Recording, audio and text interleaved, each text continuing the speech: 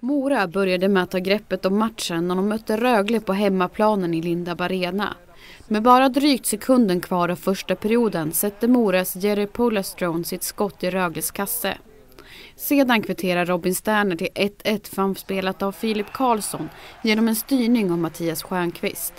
Men glädjen för hemmapubliken blir inte långvarig då Emil Lundberg sätter 1-2 målet för Mora som återtar ledningen. Den mest händelserika perioden blev den tredje där bara inom loppet av några minuter så blir det tre mål. Mora trodde att vinsten var hemma när de satt 1-3 målet men då kom Rögle tillbaka. Robin Sterner gör en snabb reducering till 2-3, 1.21 in i tredje perioden.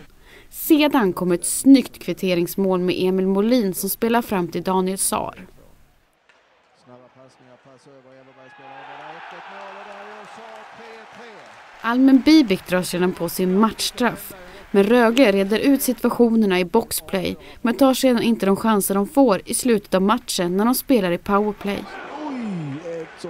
Matchen går till förlängning där Moras Emil Djuse redan efter 1.19 avgör matchen och Rögle får se sig besegrade.